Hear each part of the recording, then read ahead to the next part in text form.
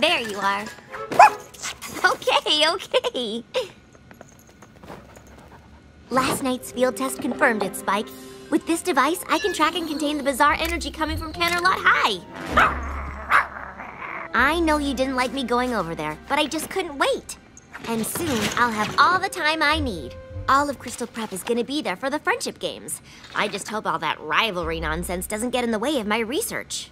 If I can collect enough data on these EM frequencies, I should be able to extrapolate the waveforms to determine their origin. That would practically guarantee my entrance into the Everton Independent Study Program. Whoa!